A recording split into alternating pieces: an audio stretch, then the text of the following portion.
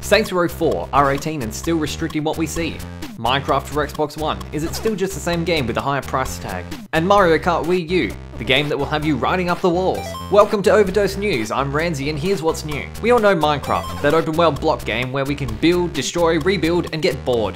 Or so I thought. While I grew tired of attacking chickens and getting blown up by creepers, it turns out that Minecraft still has a growing fan base. The game is even at a point where you can buy a card from your local grocery store, which you can redeem online for the full game. So basically, Minecraft is now some sort of god. But why is it selling so well?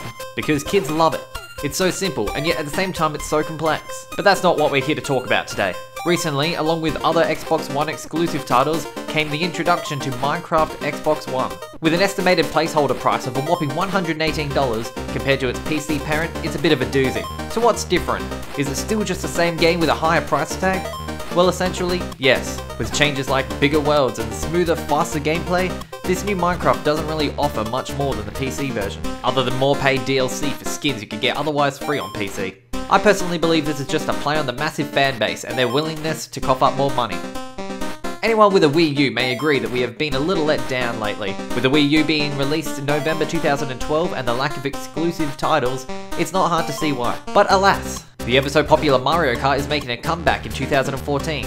While it seems Mario Kart 8 is taking a few bits and pieces from its predecessors, it's also taken on its brand new features.